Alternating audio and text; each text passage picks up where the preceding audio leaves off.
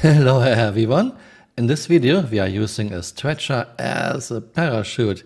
Yeah, CIG introduced trolleys in 3.13 in a very sad state and now one year later they are still in a very sad state. You can still die just pushing a trolley and this actually happened to Flickr. We were not even trying to. Well, let's get started.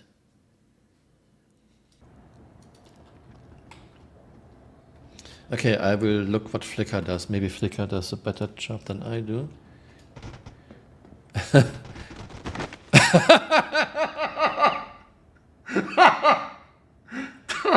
Physics. Okay, I have this. I, I hope you know you didn't die. Okay, I have a new.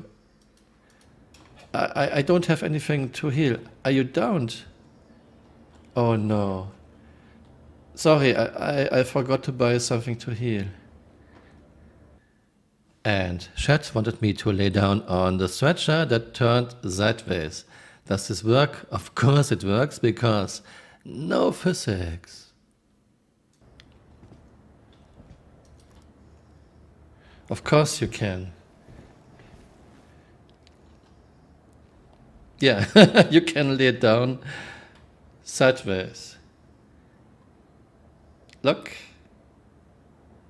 it's perfectly fine.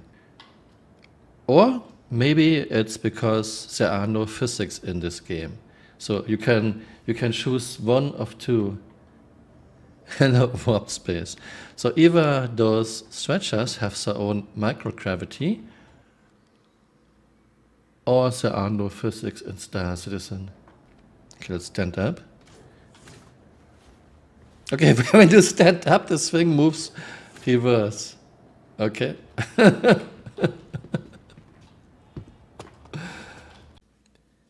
we are at Lyria at an altitude of 20,000 meters and now Flickr can do one of the things she loves the most, kicking me out of the ship. As you might know, you can survive almost any fall if you are inside a vehicle, even if you are falling at 30,000 meters onto a 1G planet. Let's see how this stretcher works. And yes, no physics. There's not even any acceleration in free fall yet. I don't want, I don't need Kerbal, but I hope this will change, that we are getting at least some basic physics, which would be very immersive, Chris. Okay, Flickr will now kick me out of the ship. Okay, camera is running. Oh, it works. hey, I, I didn't know that you can move so much mess. I mean, this is uh, one guy and one stretcher. Okay, I'm. I should be falling now. Let's see if I survive when I'm on a stretcher. Ob obviously, this will take a while. I think we were at 21,000 meters. I don't even know. Flickr, do I move away from you? I can't even see if I fall. Where's my ship? I was falling, but only at around 2 or 3 meters per second, which would take forever. Flickr suggested that she should try to catch me, and we are doing this again at a much lower altitude. I get caught into the gravity of the ship now. Looking good, Flicker. Okay, okay, I'm I'm in the elevator. You can go lower, let's say 2000 meters, and we can try again. Very well done, Flicker. Yeah, Flicker can fly. So we went down to 2000 meters, which actually was only 1300 meters above ground because we still don't have any ground radar. Let's see how long it takes. Flickr will kick me again out of my ship.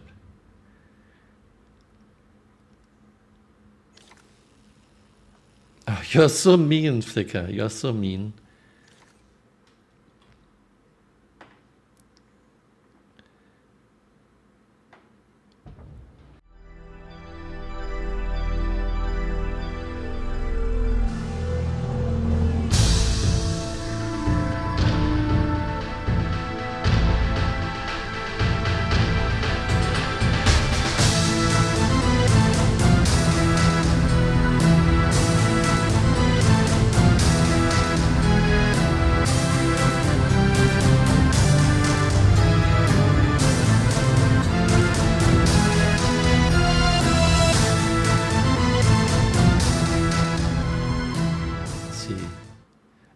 Any second now.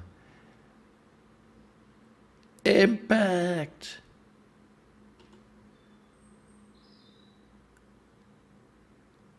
Okay. This was very, very uneventful, but I'm, I'm I clipped through the moon. Okay. My stretcher clipped through the moon. Let's see if I can stand up.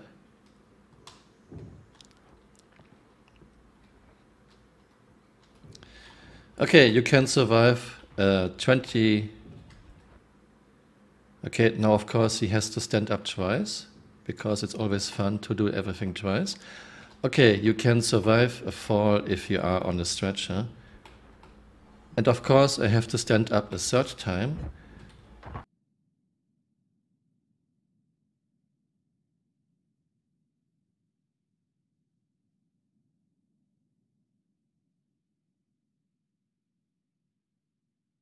And here we have the data. It was a 1300 meter fall because ground level here is 700 meters. It took 321 seconds, which was 4.04 meters per second and a speed of 14.6 kilometers per hour. Very, very slow. Yeah, I said it a few times already. No physics to be found. I hope you had fun watching this. Flickr and I had a lot of fun doing this and see you next time. Bye. Auf Wiedersehen.